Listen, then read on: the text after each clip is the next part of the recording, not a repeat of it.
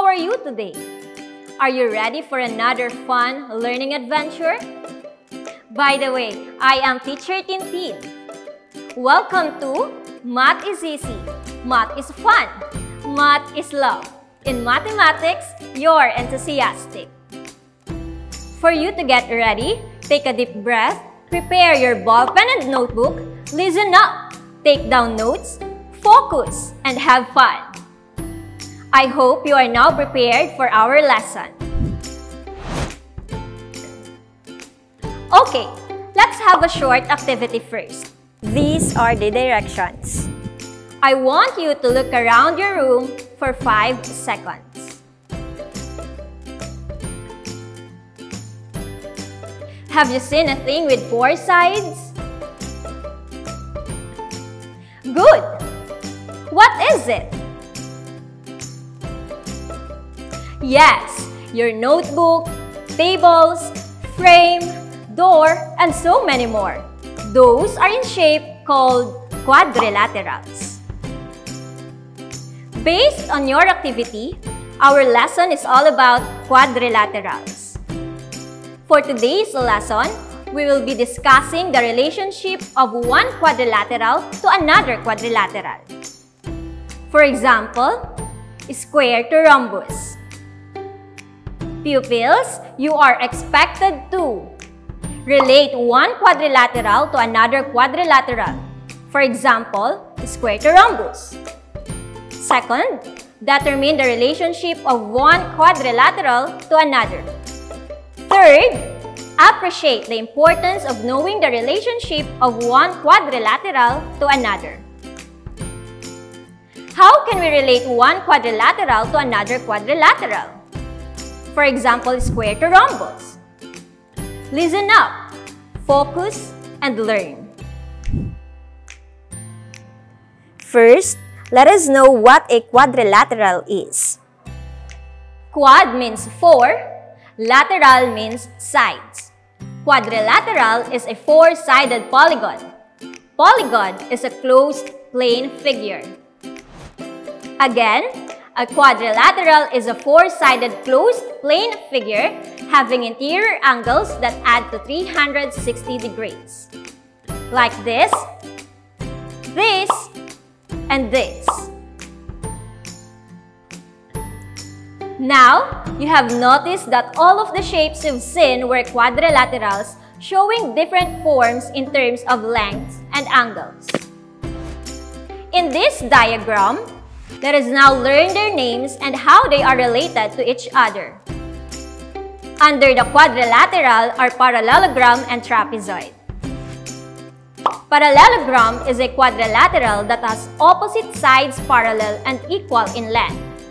And also, opposite angles are equal. The measures of angle A and angle C are the same. The measures angle B and angle D are the same. The rectangle. A rectangle has four sides and four right angles, the 90 degrees. Opposite sides are parallel and equal in length. The rhombus. A rhombus is a quadrilateral with four equal length sides. Opposite sides are parallel and opposite angles are equal. The measures of angle A and angle C are the same. The measures angle B and angle D are the same. The square. A square has four equal sides and four right angles, the 90 degrees. Its opposite sides are parallel and opposite angles are also the same in measure. The trapezoid. A trapezoid is a quadrilateral that has only one pair of opposite sides that are parallel. Have you noticed something? Great! Do they have connection to one another? Right! How are they related to one another? First, rectangle, rhombuses, and squares are all parallelograms.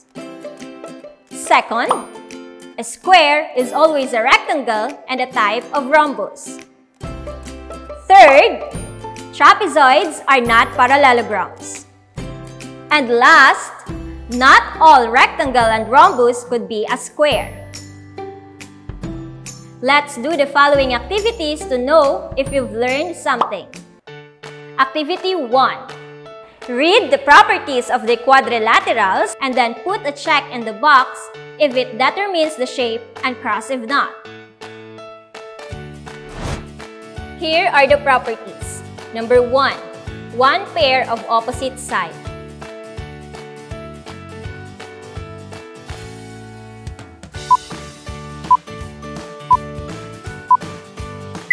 parallelogram, rectangle, rhombus, square, trapezoid.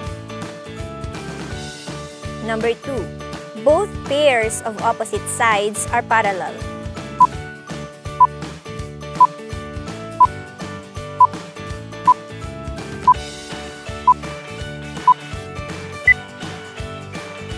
Parallelogram, rectangle, rhombus, square, trapezoid.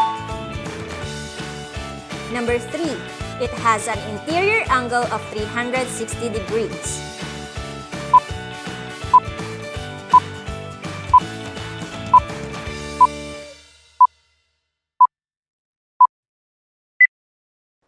Parallelogram, rectangle, rhombus, square, trapezoid.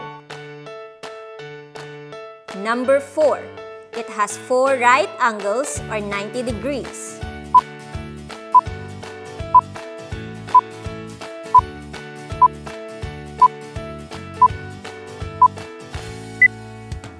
Parallelogram, rectangle, rhombus, square, trapezoid. Number 5. The measures of its opposite angles are the same.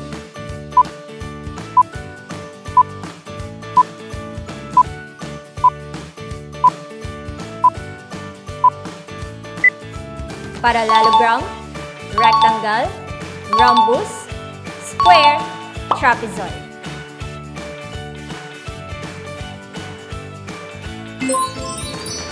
How many correct answers did you get?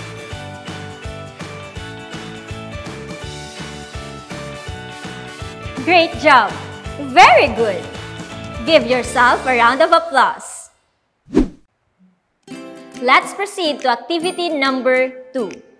Tell whether the information given is true or false. You have 3 seconds to answer each statement. Number 1. A rhombus is always a square. The answer is false. Number 2. A rectangle is a parallelogram. The answer is true. Number 3. A square is always a rectangle. The answer is true. Number 4. Rectangles and squares are all parallelograms. The answer is true. Number 5. Trapezoids are also parallelograms. The answer is false. Number 6. Rhombus and square are exactly the same. The answer is false. Number 7. Trapezoids and parallelograms have parallel sides. The answer is true. Number 8. Quadrilaterals have a total interior angle of 360 degrees. The answer is false. Number 9. All rectangles are square. The answer is false. Number 10. A square is a type of rhombus. The answer is true. Have you got 8 or more correct answers out of 10? Great job! Very good! Give yourself a round of applause. Always remember that all quadrilaterals have relationships to one another. For example, rectangles, rhombuses, and squares are all parallelograms. A square is always a rectangle and a type of rhombus. Trapezoids are not parallelograms. If you always want to learn from our lesson, you have to listen, write down notes, focus, and just enjoy. Did you learn something from our lesson? Good job! See you next time! Bye-bye!